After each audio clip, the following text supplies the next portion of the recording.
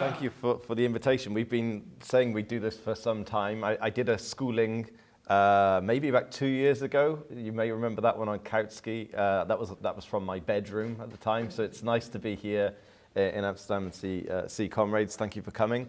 Um, I will try and be 45 minutes. There's a lot of material to cover today. Um, but I've been working now for about the past year on, well, I've been working on Zetkin for actually quite some time, but specifically on a project for Die Gleichheit, which was Clara Zetkin's uh, newspaper, founded in 1892.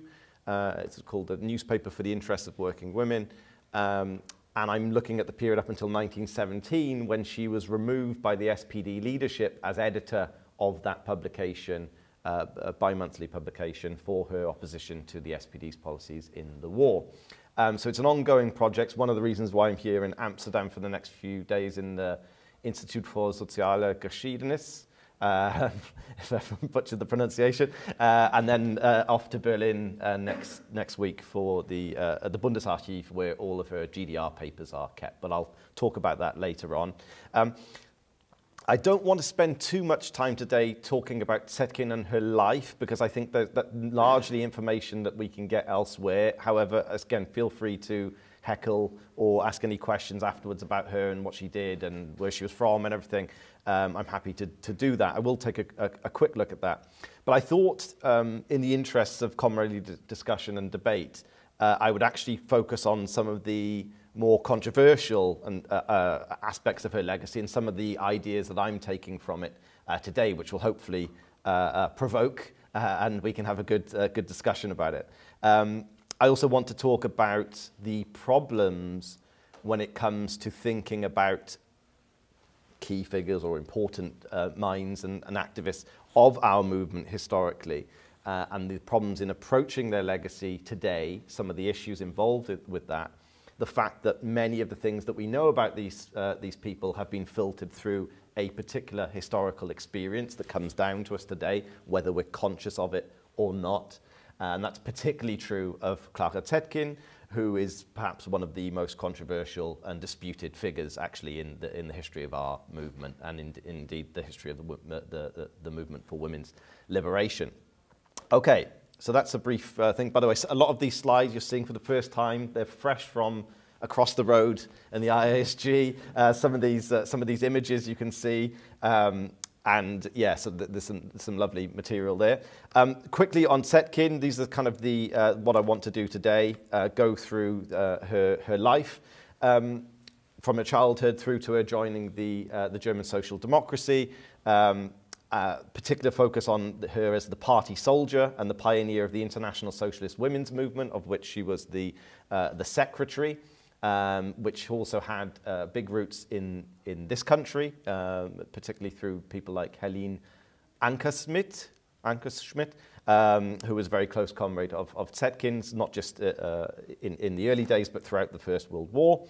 Um, then I want to focus, uh, and I've got some new material for you here, which is an unknown, uh, an unpublished, uh, previously untranslated, unpublished letter to Engels, Friedrich Engels, uh, by Zetkin in 1894, I believe. Uh, so you'll be seeing that for the first time, uh, you lucky, lucky people. and um, so we'll look at that and how that relates to uh, the strategy of the ISWWM, particularly the, the, uh, the, the, I've just forgotten the Dutch word, the, the clean break, the reinliche Scheidung uh, between the proletarian women's movement and the bourgeois uh, women's movement, which is, I think, interesting and hopefully um, will provoke some discussion and then have a look at some of her, her later years as a communist MP uh, and, uh, uh, and then her experience uh, living and, and, and eventually dying in, in the Soviet Union.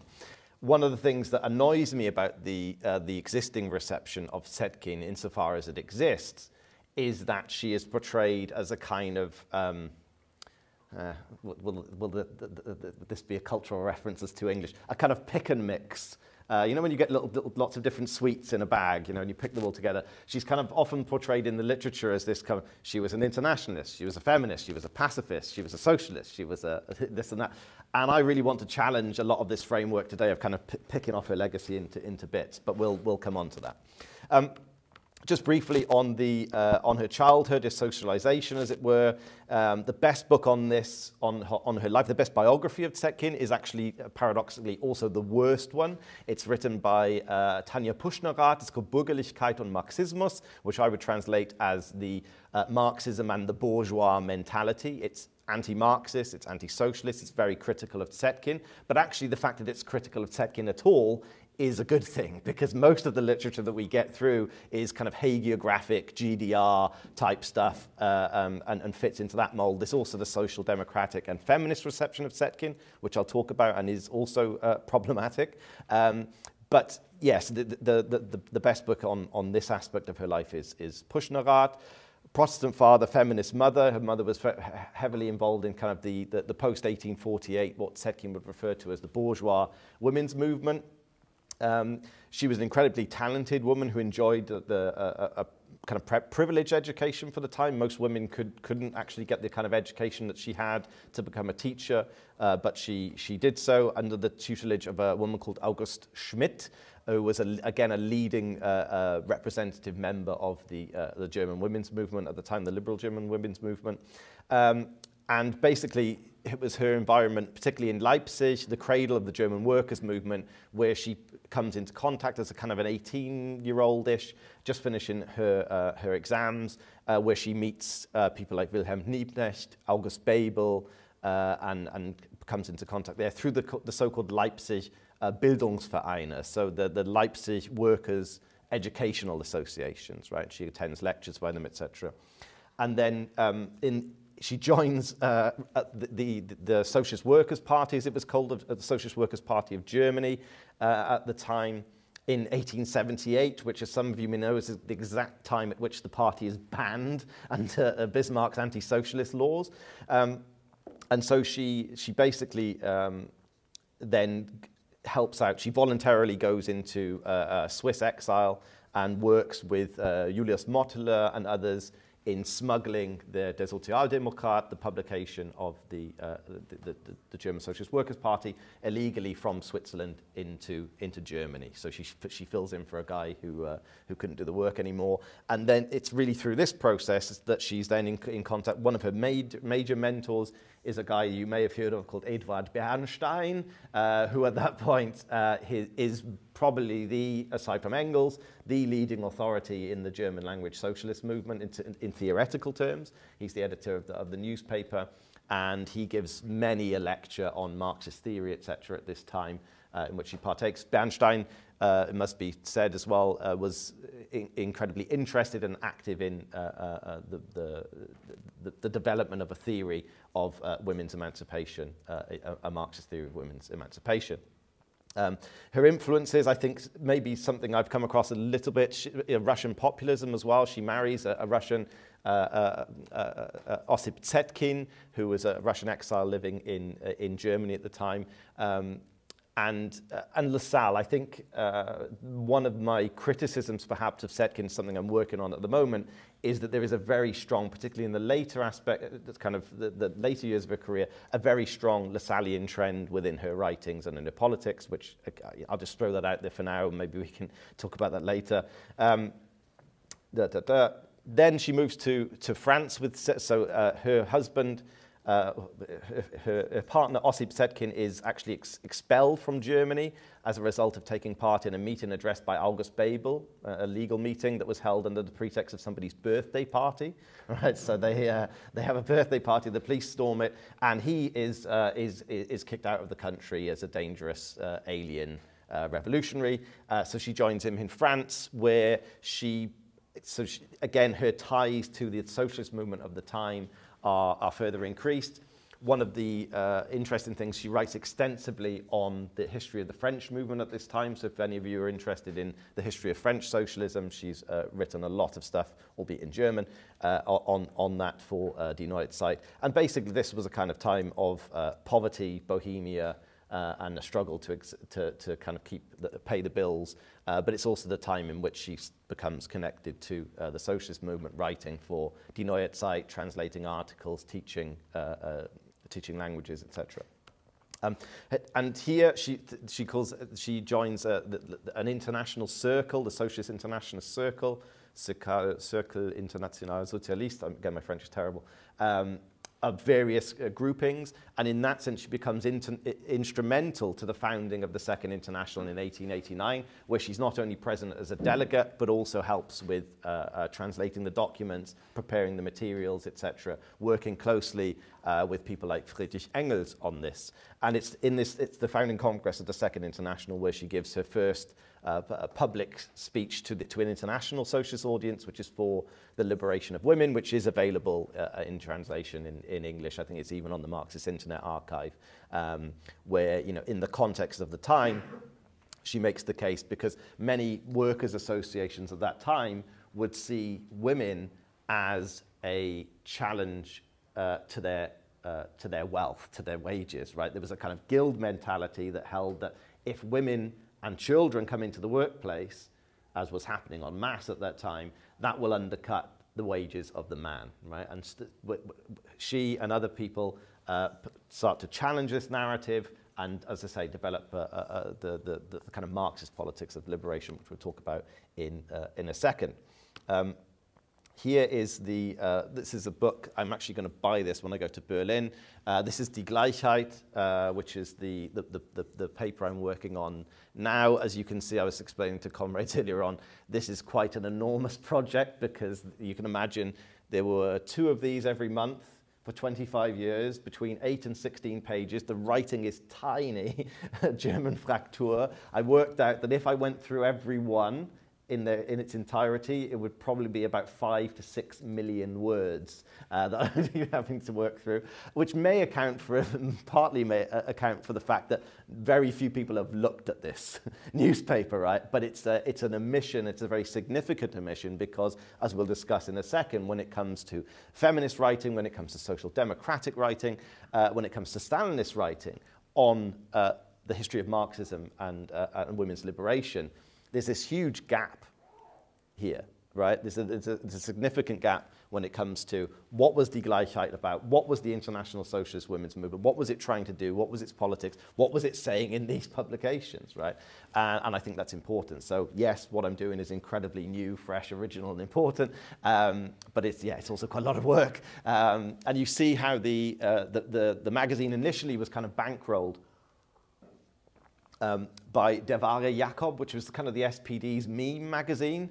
Uh, kind of, they, they produced this uh, kind of uh, funny, funny magazine uh, with uh, political cartoons and sketches, and it was very popular. It sold incredibly wide, uh, widely. Dietz was the guy who, who produced it, and initially it was bankrolled. It, it made no money until about 1895. So the first, sorry, 1905. So the first 13 years or so of its existence, it was just sucking money, party money from from the from other other publications. But that's also true of Die Neue Zeit, for example, Kautsky's um, weekly uh, theoretic, theoretical journal. Um, it becomes the official uh, paper then of the, the proletarian, uh, uh, the International Socialist Women's Movement, and you can see how across the, the, the period from 1902 to 1914, the, cir the circulation of the paper steadily grows. And in the, in the early days, um, there, were, there, was, there was quite a lot of criticism for um, it not being, it being far too, far too theoretical, far too difficult to read uh, for most people. Uh, Bebel, I think in, in the 1890s, says, uh, Clara's been kicking off again, but thankfully she's doing it in the pages of Die Gleichheit, which no one reads. right, so was, uh, there's that criticism in the, in the early days, but that's not true. As, uh, but with time, as the publication grows, it is uh, an, an important uh, publication in its own right, in the sense that it's being read internationally, um, and it would be the, the kind of international organizers. So the Dutch women's movement would, be writing in it, reporting in it, feeding back in it. The Russian women's movement, Norwegian women's movement, you find all of these different uh, things feeding in. It's a theoretical magazine, but also has these, the, these um, rubrics like Aus der Bewegung, news from the movement, etc., right around uh, uh, Europe at least. Um, and in many ways, it's, it is Clara Zetkin's uh, uh, testament. But it's not just important in that sense, it's also important as a uh, publication that speaks, that becomes an, an ever important voice of the revolutionary wing of social democracy. Even in the 1890s and early 1900s, Zetkin is talking about two, the two souls of German social democracy, the two camps right? The revolutionaries and the revisionists. And the Die Gleichheit, in that sense, as some of you may already know, in the context of the First World War, it becomes a rallying point of opposition, right, for, against the politics, uh, the pro-war politics of social democracy on an international scale. So the first ever Congress of anti-war activists held during the war from both sides of the war is actually in the context of the Bern uh, Socialist Women's uh, Conference in March 1915, which is basically the work of Zetkin, Ankersmit, uh, uh, Krupskaya, Kollontai, etc., etc. Right. Um, so it's, it's, it's, it's important on a number of levels. There are key uh, uh, themes and things to bring, bring out of it. And here the picture you see of uh, Für unsere Kinder, I'm sure as the, that's understandable for you, for our children, from 1905, partly in response to uh, some of the revisionist criticisms that the, the, the, the, the, journal was too demanding theoretically, but also in a way of, as a way of expanding the reach of the publication, there are uh, uh, and supplements introduced uh, into the paper uh, for, for, our, for mothers and housewives and for our children. And they're basically uh, targeted um, at, uh, at mothers and children in particular. And I actually went away, I don't know if any of you have seen this, I actually went away and translated or just provided the contents for, uh, for our children. And I made a joke, I mean, I teach German at university, right? And I made a joke that if you gave that to a, a, your average undergraduate student of German now in Britain, they would really struggle with the content. It actually shows, again, it's this, this kind of thing that's been lost in a sense. Um, uh, Zetkin makes the point once, uh, I think in the 1920s, that all classes have stopped reading. right? And uh, you see with this social democratic culture how demanding the culture was, how it was expected that you know, people would read a lot, they would discuss, and they, they, would, they would take these things seriously. So from my perspective in 2023, I'm like, Christ, this is a lot of stuff to read, right? Uh, but you know, the, the, the, children's magazine would not be, you know, it would be Goethe, Schiller, Hölderlin, right? And these little poems and, and things and all sorts of interesting things. And yeah, it's worth, uh, it's worth looking at cl more closely. I don't do that in my project necessarily. Uh, one of the other issues is that apart from these old GDR editions, that's an actual a GDR public, uh, replication in the 70s or 80s, the, a lot of the original stuff has been lost, so it's hard to get hold of these supplements, unfortunately. Um, the whole uh, underpinning of this, of this endeavor is the clean break, the reinliche Scheidung, um, between the bourgeois and proletarians. We're going to talk about that in some uh, detail now in a second. I want to focus more on that. I think this, it's something that's lost today, and I think it's worth highlighting. Um, and uh, so, yeah, we'll come on to that now in a, a second. Uh, yeah, this is, I, I, should probably skip over this, but there's some nice, uh, um, there's some nice things here uh, about this is, this is how to raise your children. Uh, yeah, keep your word, be friendly to your children, become their friend, control yourself, be prepared to help, use your time wisely, decorate your house, look for the beautiful things, don't be a chatterbox, avoid alcohol, don't raise little hurrah patriots. on, honor, honor the pioneers of our struggle. Don't put up with any showing off from your kids. Insist on good manners. Don't give long sermons. You shouldn't mollycoddle your kids. Go on walks with them. Familiarize your children with overcoming obstacles. Tell your kids the truth about sexual matters. Raise your children to be independent thinkers. Speak to your children. And there's this whole there's, there's a kind of darker side to this as well, but in, in terms of the GDR uh, um, instrumentalization of Zetkin as some kind of Stalinist superwoman, right? Because she's portrayed as this. It also comes a little bit from her when she in the letters when she said, "Oh, I have a working day of 23 hours a day, and then I and then I sleep for an hour," and you think, no. Like, you know, I'm not, I'm not kind of, you know, I'm not kind of downplaying her commitment to the cause. She was incredibly hardworking, often, you know, raising kids, two kids she had at home, and then all the political work and everything else. But there is this, you know, again, often in letters. It's also a time when she's appealing to people like Axelrod and Kautsky and Plekhanov for money. You know, like I'm really struggling here. I work 23. No one can work 23 hours a day. You, you'll die immediately. Not quite immediately, but uh, it's especially if you have kids. And um, so, so I think we have to be a little bit careful. But the way in which this is done is like, oh, in the GDR, people are complaining about, women are complaining about the triple burden, right? So work childcare, party work, this is not just the, the doppelte Last, but the dreifache Last. And they say, but look at Zetkin, she did it, right? Uh, and so there is a certain problem at this stuff. But we, it, it's, it is remarkable to go back and look at this. I think this was probably the first ever socialist uh, uh, magazine for children, aimed specifically at kids, right? Which is, which is a remarkable thing uh, in itself. And, it, you know, it's good to see uh, you know, 120 odd years later, the, what's insightful, what's progressive, what's kind of beyond its time, but also what's of its time as well, right? I think that's, that's something to, uh, to look at in more, uh, in more detail, even though I've just said I'm not going to look at it in more detail, but it's worth, uh, it's worth doing so. Okay, now we come on to Bravo Clara, which is a quote from, the, uh, uh, from Engels. And as I say, this is a, an unpublished and untranslated, although I, am, uh, I, I, was planning to do it for today, but I didn't quite get it done. It's quite a long letter from, uh, from Zetkin uh, to Engels, I think in 1895. That's right, 1895. Now, here's where things start to, hopefully, or maybe they won't be, get slightly more controversial, right? Because there's, again, Zetkin is one of these figures who is kind of enshrouded in myth and instrumentalization. I've talked a little bit about the Stalinist reception. Then we've got the left today, and how do we think about the politics of Clara Zetkin? Uh, often people would talk of socialist feminism. So the kind of second wave feminist uh, uh, writing will look at Zetkin's work and ideas and say, this is an example of socialist feminism. For me as a historian, that is in massively problematic. You can do, do you know this um, Google uh, uh ngram things where you can look at terms for, historically? Type in uh, uh, feminism for Germany in the, in the period, in the Weimar period, uh, sorry, in the, in, the, in the Kaiserreich period through to the, uh, to, to the Second World War, but next to nothing. The term feminismus is really a product of the second, the, the, the post-war environment, which you expect, right? The 60s, the 70s, etc. There are particular terms in German that we should be careful when we're using. Uh, and again, maybe there's a crossover in Dutch. We could talk about that, about how these things work. But feminismus at that time is not a thing, let alone sozialistischer Feminismus. It just doesn't exist. It's not in Zetkin's writings. It's not in any of the other writings at the time. It's just not a thing.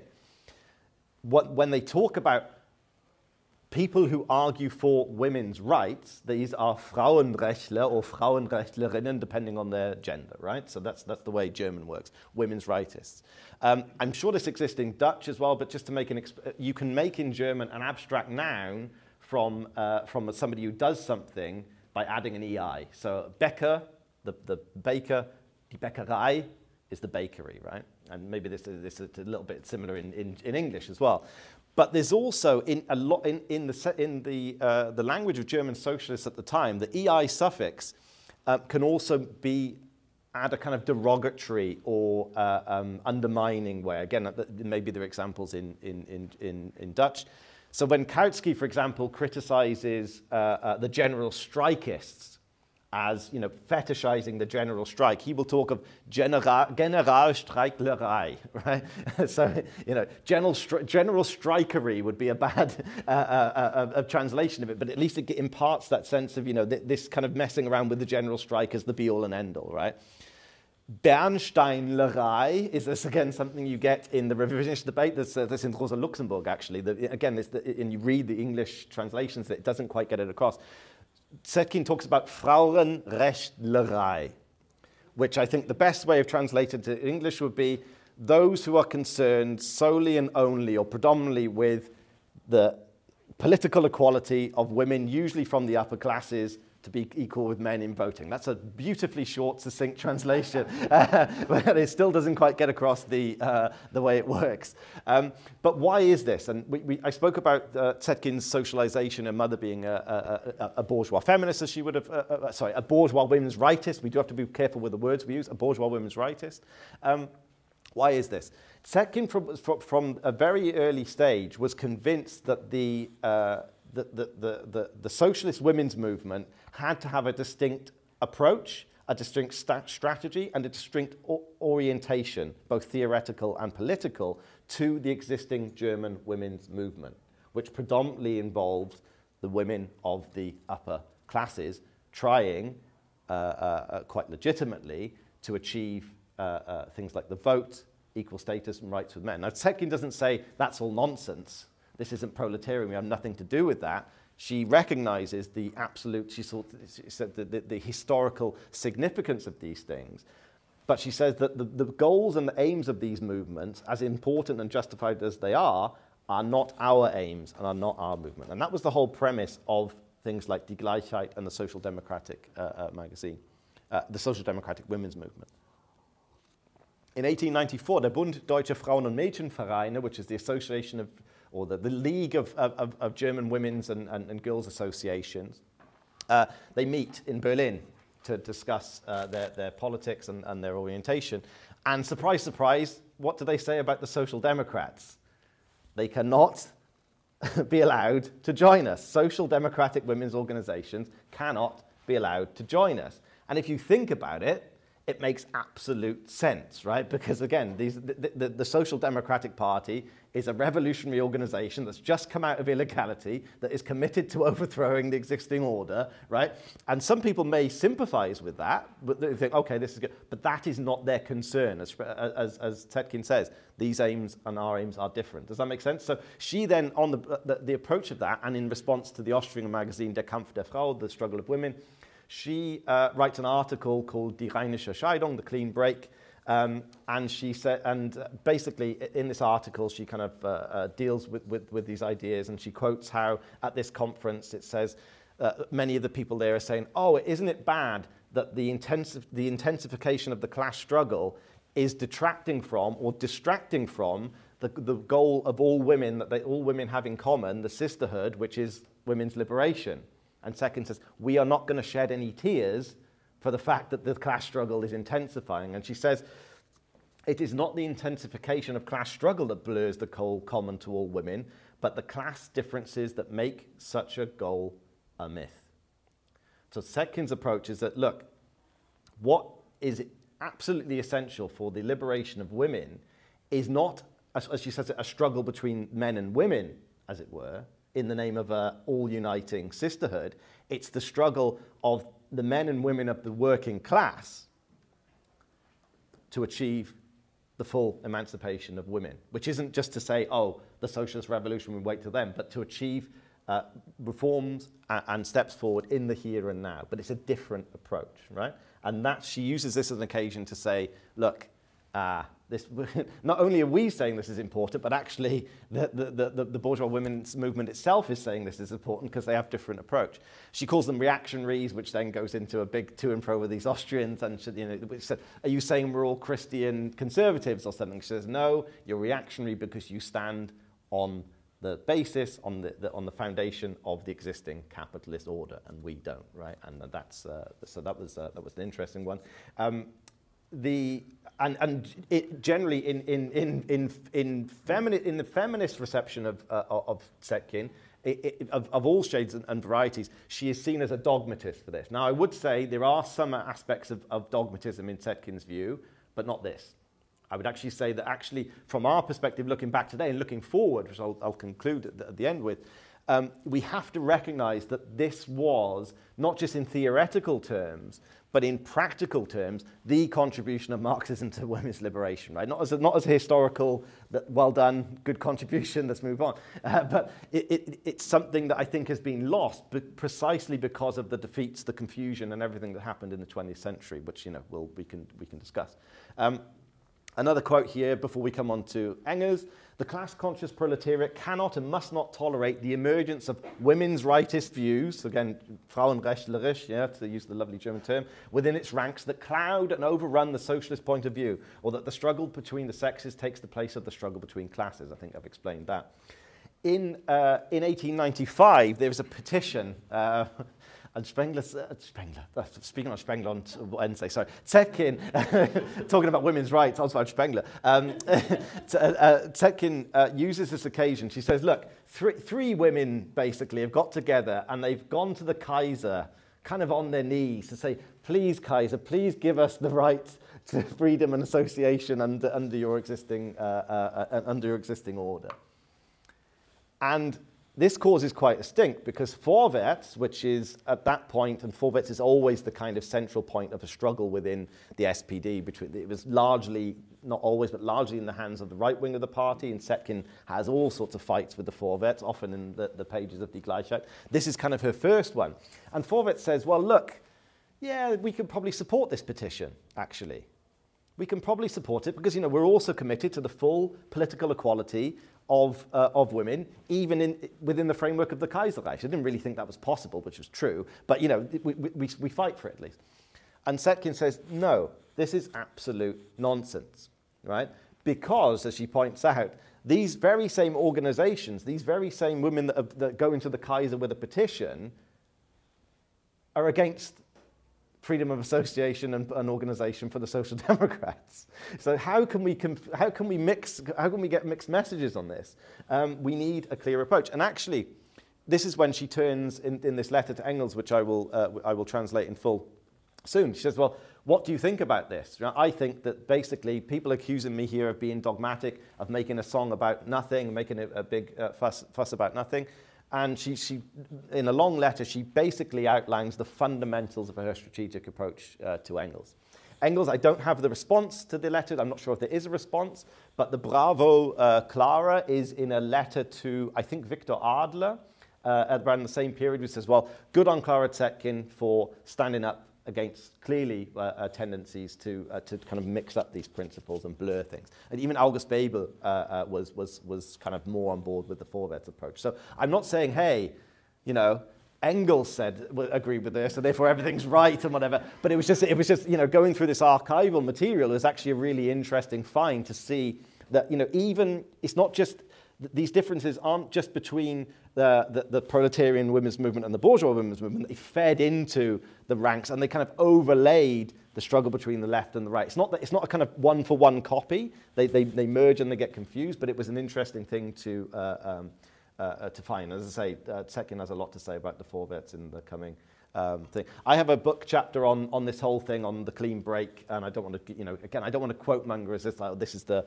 this is the way, or, but I just, just trying to get uh, back uh, into focus what Zetkin was saying about these things. Right? She says, Our task is not to make the innocuousness of socialism plausible to a few bourgeois women. Our task is to make the mass of proletarian womankind aware of their class position and their suffering as a class, to convince them of the necessity of getting rid of capitalist society, of educating them into a conscious and energetic section of the revolutionary proletariat. Instead of blurring the dividing line between the bourgeois and proletarian women's movement by a tactically clever approach, i.e., by watering down our point of view, we must point out this dividing line uh, more and more clearly by energetically emphasizing the class contradictions involved, as well as our own principles. In both camps, i.e., proletarian uh, uh, women's movement, bourgeois women's movement, there must be clarity about the, fact, the fact that the slogan of the one camp is social reform, whereas the war cry of the other is social revolution. And again, that is uh, uh, um, th th that lays out, I think, the fundamentals of what she was uh, about. About 10 minutes, is that, yeah? 10 minutes left. Um, so yeah, that's really what I wanted to highlight today, partly because what I want to say at the end, which I say hopefully will kick off some, uh, some discussion. Um, but I do think that for various reasons, this kind of fundamental stuff, stuff has been lost. And we have to, I think, understand the success of Zetkin uh, in, in, before 1914, the success of the international socialist women's movement, for all its flaws and problems and shortcomings, we have to understand that success as the product of this basic strategic line that she upheld against sometimes against the, uh, uh, the, the Vorwärts, sometimes against uh, women like Emma Ihrer, who was uh, heavily influenced by, uh, by revisionism and Bernstein, and how that all held uh, together. And I've just got some various pictures here from uh, the, the International Socialist Women's Movement. You can see uh, Zetkin, Kollontai, sorry, uh, um, yeah, Zetkin and Kollontai up there. I think that was in the 20s. Um, and then some of the, the, the women's, uh, working women's organizations, so the, the, the, the, uh, the text, textile workers there, uh, and then the, the bottom right picture is the first uh, International uh, Women's Day, which was a product of, uh, of the Second International and the International Socialist Movement, as you're probably all aware, right? This was a, a resolution of uh, uh, the Copenhagen Congress of, of, of the International Socialist Women's Movement. Um, and you see uh, some of the things that, that, that it did. Um, so that's the, the basic. I, I, I don't want to go too much into the war. Um, but just to make a few points that, as I, as I kind of alluded to before, during uh, the war, during the Burgfrieden, um, this, this newspaper becomes, uh, uh, Die Gleichheit becomes a, a rallying point for international uh, opposition to the war. Um, do you know, I've done this before, but maybe if some of you the meeting that I did last summer, but do you know why there's gaps there? Censorship, yeah. So basically, this was uh, this was basically um, I think that's one of the first uh, issues that were produced uh, after the outbreak of war, the, I think in the autumn of 1914. Um, and Zetkin was you know, basically told to you know, go and uh, remove certain things. Um, but, the, but the struggle continues, and she uses the Die Gleichheit, as I say, as a platform to rally uh, the forces of the, of, of the anti-war left, even to the point where, like Marx did with the Rheinische Zeitung, where I think they printed it, their stuff. They didn't remove it, they just printed it in red, I think. They printed the whole thing in red. Uh, you know, they would go with the censor and say, second said, I just had enough of doing all these corrections from the, from the German uh, state. I'm just going to print it with the gaps in, and you can make what you want of it. I've talked about Bern, uh, the Spartacus League, Liebknecht in Luxemburg, um, and then arrested on a return to Germany for distributing the ban statement. I've got a nice picture from the IISG there at the end. I'll show you uh, about that. And yeah, she was removed um, as, as editor in April 1917, replaced by a, a woman called Maria Juchacz. Um, and really, the, many of the concerns that were raised about Die Gleichheit as not being kind of uh, uh, massenfähig or able to speak to masses of people, uh, they turn out to be wrong because the, the, the, the, the magazine generally goes into decline after, after 1917 to the point where in 1923, uh, against the, the, the backdrop of mass inf uh, uh, uh, inflation, hyperinflation, one, one edition would cost like 40,000 marks or something like that. So it, it wound up in 1924. Um, and th th there's a good PhD thesis for those of you who read German um, uh, by a woman called Miriam uh, who does quite a nice, I, I won't do this in my project, but she does a really good comparison of the content of the pre-1917 Gleichheit and the post-1917 Gleichheit and really about the difference. It was more, the latter was more about then, about the new woman and uh, a, a kind of more individual path to, to, to, to liberation and socialization, etc., uh, which, which is interesting. I can, I can highly recommend that. But yeah, she becomes a communist MP um, and uh, kind of is one of the few figures in that sense uh, that is both a leading member of the revolutionary social democratic wing of the Second International and the leading member of, uh, of the communists, right? That a lot of people split from social democracy and, and, and joined the international communist movement, but she has that continuity as somebody who's been in the movement from the very early days um, and, and, and uh, goes through uh, with the, the KPD. Um, trials and tribulations. This is probably the least research period of her life, for good reason we'll come on to. Um, but she continues to organize Das Die Kommunistin, which was the, uh, the, the, women's uh, um, publication of the KPD, uh, the Communist Party of Germany, uh, and is, is, you know, draws on the connections that she'd established in the Second International within the context of Comintern and the International Communist Women's Movement. Um, I translated the, the the, the guidelines for, uh, for uh, communist work among women, I think is the full title of it, which was uh, presented to the third Congress of Comintern, uh, also worth, worth a read. And you know, I would say that you can, you can see a basic continuity there in the strategy that I outlined before, uh, but also maybe some shifts in, in, in, in emphasis as, as well. I think there's far more. You may have noticed from some of the material earlier on that the um, the, the family, th there's less of an emphasis on the socialization of the family and maybe in, in the earlier stuff, whereas that becomes far more uh, prominent in, in the communist period. The, the, state will play a bigger role, etc., etc. Um, but again, that's, that's, a, that's a worthy uh, compare and contrast uh, exercise. The thing about, you could say, with Zetkin, uh, her fate mirrors that of the communist movement more generally. So as one of kind of the leading figures. There are several junctures and several crisis points at which she uh, feels ultimately angered and betrayed by the actions of the party. And you'll find that in her correspondence, you'll find that sometimes in some of her articles, but really she is committed fundamentally, right and wrong, uh, to the Soviet project. Uh, and I think in that sense, it's, it's, it's partly of her own, uh, uh, it, it's her own undoing in a sense, right? Um, that, that, that's clearly something that needs to be uh, unpacked critically.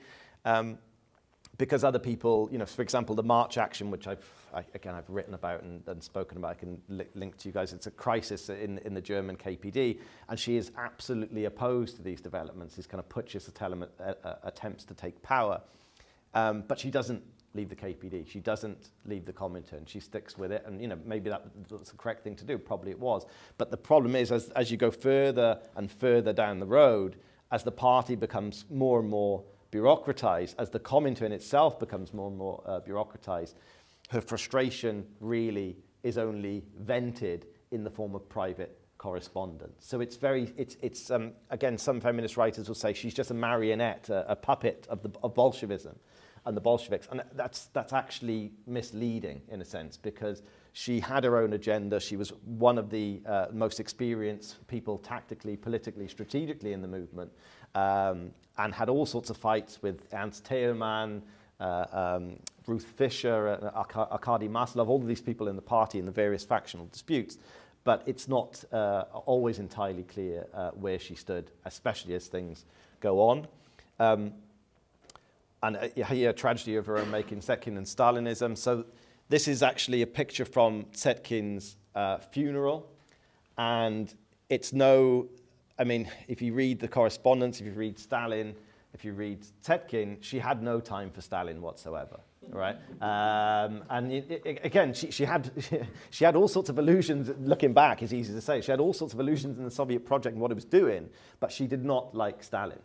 And it was, the feeling was mutual. Uh, so this is, a, this is a letter from Stalin to, I think to Pyatnitsky, I've forgotten now, uh, where he describes the last meeting between Zetkin and Lenin, who she uh, obviously adored, uh, uh, and perhaps even uh, canonized slightly too much later on, but that's a, that's a whole separate issue.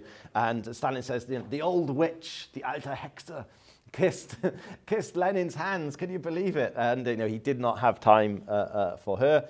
Um, and, but, and one, of the, one of her biographers I mentioned earlier on makes the point that Zetkin becomes this kind of, uh, right from her death, this is the instrumentalization takes place. So who has to be seen at the front carrying the, the grave? Yeah, uh, um, Stalin. I think that's Molotov actually in, in, in, in position three, and the, the, middle one is either Hoernle, a German friend of hers, or Pieck, Actually, it could be, but I, I don't want to uh, uh, say. I'll have to look that up. But right from the, the, the, the, I mean, she's buried in the Kremlin Wall. If anyone's ever been there, you can. She was a hero of the Soviet Union, etc., etc., and that becomes more and more the case as she goes on.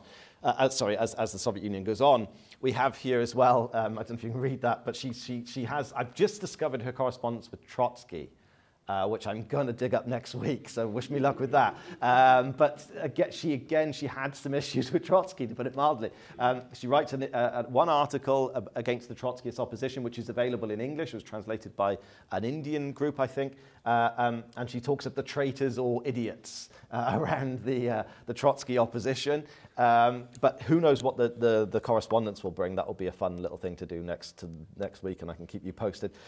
Fundamentally, she was an ally of Bukharin, so she, she's generally seen as on the right of the communist movement, uh, um, right maybe also in, in some ways in in the other term, not just on the right, but actually in many ways was right in a criticism of, of Stalin and Trotsky, to be fair. That's, an, that's again, that's another big issue I don't want to open the can of worms on, but, um, but she, she was, yeah, fundamentally uh, a part of, of, of that uh, movement. Um, and I say publicly does uh, not make a st uh, stand, but correspondence full of criticisms. Now we come on to the GDR, the bastards uh, as a historian, I mean, you know, there's many crimes of Stalinism, right? But as, from, from a, the, the, perspective of a, of a, historian, the worst, well, not the worst, the, one of the, most unforgivable crimes is that, okay, there's a film made about Clara Zetkin in the GDR. She's kind of put on, again, put on a pedestal, or she's the babushka kommunisma in Russia, right? The grandmother of communism. Um, but they sit on pretty much the entirety of her stuff of her materials, right? So now I was just telling comrades before this meeting started, I've spent about three days pulling together the entirety of her, uh, of her materials that are available in the GDR archive. It came out only recently, thanks to me and some other, com- and, and some other comrades, that there was actually a 34 volume collected works edition put together by her son Maxime, who stayed in the GDR, right, and his wife who worked closely with Zetkin when she was in her final years, a 34 volume collected works, speeches and writings. The GDR produced a three volume Ausgewählt, uh, I don't know if you know that word in, in Dutch. the, the, the, key word is selected, right? Selected uh, uh, re, uh, speeches and writings, in which also we found that there's censorship involved. So, for example, when she speaks in 1917 of uh, uh, fraternal war, the possibility of fraternal war, Brüderkrieg, between the different socialist parties, that's turned into civil war, Bürgerkrieg, by the German, uh, uh, uh the, GDR uh, editors, right? So little things like this, they sat on it. And if you go to the correspondence, I've, I've quoted some of it now, it's clear that why they did that, right? They wanted to make this woman, uh, they wanted to place her on a pedestal, but producing the works, producing the correspondence would have actually completely undermined that. We would have seen the stuff about Stalin. We would have seen the stuff about the K KPD and the shit show it was in the 1920s, right? We would have seen the stuff about Ernst Thälmann, the German Stalin, and how much of an idiot he was in, in Zetkin's view. Like, literally, so I've got nothing personally, personal against the guy, but he, isn't, he knows nothing. He knows nothing about the basics of Marxism, right? She didn't, didn't mince her words. So yeah, 30 volumes of work and 34 volumes of letters and correspondence, which have just been sat in an archive uh, which the GDR refused to, uh, to produce. So I'll be going there next week, and, um, and, uh, and yeah, there'll be lots of stuff. Um, Hermann Weber describes her as between critical and bureaucratic communism. Yeah, that, that's, that's a whole, uh, a whole other uh, ball, ball game. Um, now, last two, uh, sorry, I've gone over, gone over slightly, last two slides. Um, you can see here's a picture, very unfocused picture of uh, I'd say, coming back into focus. As I've made clear she's one of the most uh, controversial, disputed, instrumentalized figures in, in workers' and women's history. But as I've, I've, as I've outlined, fal falsehoods, censorship, and neglect, as I've made clear. Dogmatic anti-feminist communist is one of the, the uh, Florence Hervé's book you'll see. Uh, uh, Feminist Without Borders, Gilbert Badia, uh, French, French guy, who's, uh, the book's all, the biography of her in the 90s, also available in German. Féministes sans frontières, it's called. Uh, or Red Feminist is a, uh, uh, I should, probably shouldn't say it, not very good book uh, by Lou Zucker that came out in Germany uh, a year or two ago, which I reviewed for historical materialism. Yeah, not particularly, but you see how these things have happened. Um, so, some ideas for discussion. Uh, my, my basic points today. Without Zetkin, Die Gleichheit, the International Socialist Women and Social Democracy, our world will look different, I think. And this is, this is something that's, that's lost, particularly when it comes to uh, bourgeois academic historiography of, of, German history and European history is that somehow the men, many of the rights that, uh, that women in particular enjoy today is kind of like an organic product of the de development of these societies, right? I think that's, that's completely uh, uh, wrong. Uh, and I think that actually we on the left also make these questions far too difficult for ourselves. We're too apologetic and we tend to um, uh, kind of blur some of the, the, the, key political and strategic takeaways that we should be uh, uh, looking to Zetkin to, to, to take, not in a kind of uh, instrumental way, but to look by going back to Zetkin's work and life as it was, as opposed to how it was subsequently uh, portrayed. We need a, not a hagiography a la the GDR, but a critical appropriation of her, her legacy. We've talked about the Soviet question, the influence of Lassalle. I think there was an overestimate, overest, uh, overestimation of the, uh, uh, the, the, the, activity of the masses in certain points of, of her way of dealing with the, the problems of the SPD. Uh, Luxemburg, Rosa Luxemburg uh, wrote in a typical uh, Rosa Luxemburg way that Zetkin talks a lot and she's quite revolutionary, but she doesn't have an opinion of her own. That's what Zetkin, Luxemburg wrote to a friend in the 1890s. That changes. I think, I think Zetkin was certainly in, in the 1890s. Uh, there, there were aspects of that, and she, we saw how she went to Engels. She would often also go to Kautsky and say, look, I don't quite trust my judgment here. What do you think? Right? So there was, there was that uh, element as well. The document itself I've kind of dealt with. It shows how long I've been around on this, but I remember in 2009 a debate between uh, John Riddell and Lindsey German um, where uh, they talk about Marxism and the women's question. And Riddell, a, a good friend of mine, a good historian, basically makes the point that this is all of its time and it has no relevance today, the strategic approach that I've outlined, right? Because you know, the, the, the, rise of women's rights movement, the, the fact that uh, Marxism and feminism have been kind of at loggerheads, that Marxism underestimated the significance of the women question, so-called or allegedly did. I think there's a lot going on here. And I think that hopefully what I've shown and what I, what I wish to show in more detail in, in the coming uh, years of my project is that Marxism actually took the women's question for all its faults very seriously indeed. It, it actually developed an, uh, uh, its own political and strategic approach, but that has been lost, particularly in the experience of uh, you know, real existing socialism uh, women as kind of funny shaped workers in the Trotskyist movement, you know, all this kind of, no, seriously, there's definitely, and I think second wave feminism in its way uh, sought to address that head on. It was clearly saying, well, look, Marxism, what have you got to offer us, right, really? Because this, this is what's happening. And I think, so we have to kind of strip away the packaging somewhat, but I do, I, I'm kind of the opposite view of Riddell. We need to go back to this stuff critically, but actually recognize the need uh, for uh, a programmatic alternative on all uh, questions. Uh, I raised, uh, some of you may know Comrade Mark Fischer, who always spoke, spoke to me of bolt-on Marxism. So, you know, you kind of just stick things on, like you a bolt-on would be like a, a phone contract, and, you know, you can bolt on 200 free minutes for a couple of quid. And I think that's generally one of the major flaws of the left on this and other programmatic questions. It'll just stick on, oh, Marxist feminism, taken care of. Revolutionary feminism, left voice, right? Or uh, eco-socialism, matter dealt with. Just tokenistic labels as opposed to a programmatic integration. And, and, and you know, that was, for all their faults, and, and, and that was really Zetkin's, uh, um, uh, uh, one of Zetkin's key contributions to Marxism as a theory, but also Marxism as historical and living uh, moment. Um, yeah, and I think probably I'll stop there. Sorry for going on too long, but um, yeah, I look forward to discussing with you, comrades. Thank you.